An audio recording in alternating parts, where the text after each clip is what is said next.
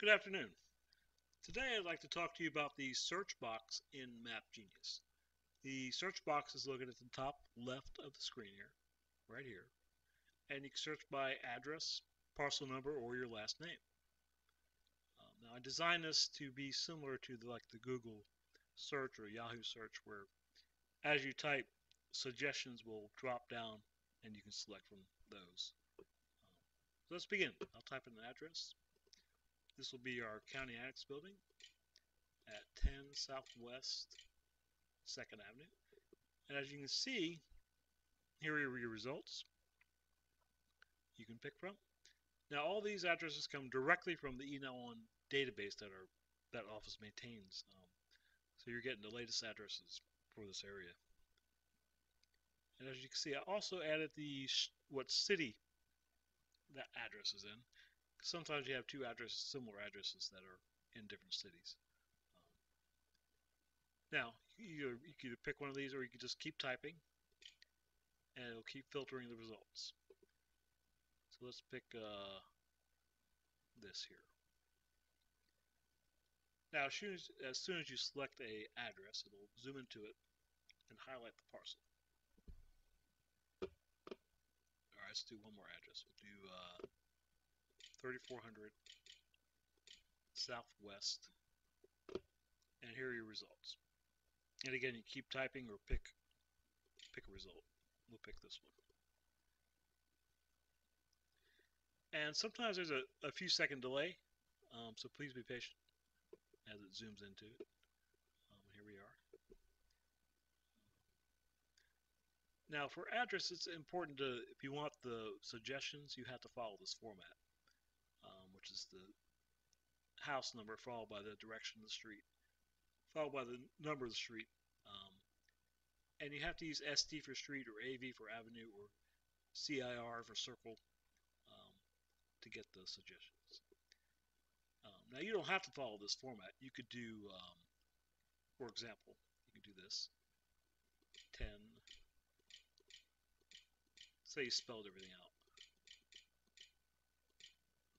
Just put the number there. Maybe typed in Avid. This search button is right here to take care of these instances. Um, so let's select that. Pick the search button. And it formats it for you and zooms into it again. Um, there we go. All right, let's do a last name. Let's say, uh, oh, one more bit on addresses. Um, no, we'll do last name.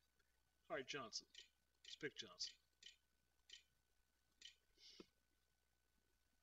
Now, if you backspace, you see you got all the Johns, because um, that's all we type. Uh, just continue typing, and it'll keep filtering it. Always put a space before the first name. And we'll just pick one. And as you see with name, I also put the parcel number next to it in case uh, there are two similar names like here. There's four names. Um, also, I put in, if there's two first names in the parcel record, I put those here too. So we'll just pick one. there we go, zoomed into it, selects it. Um, all right, let's do parcel number. We will do 7240 dash. You can either pick one from here, you can scroll down, you can keep typing to filter more. There you go. Now, similar to the addresses, it's also important that you follow this format for parcel number, which is five digits dash, three digits, dash, dash, uh, three digits.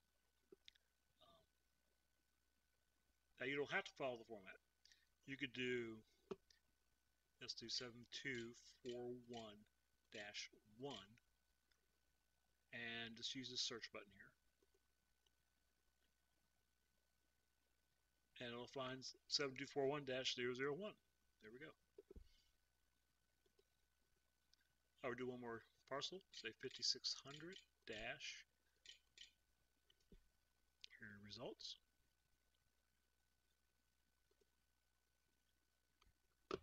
We go. Now do one more owner name. Let's do uh, Fontaine. Is there any Fontaine? Let's see. All right, there's a Fontana. I'll pick one. Now this data is coming directly from the property appraiser, the parcel data, owner name data. So everything's up to date and uh, Now if you want to find, say, all the longs in the county, type in long.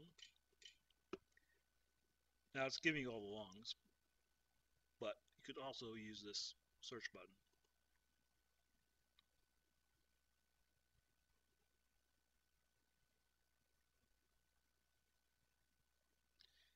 and it'll return all the longs.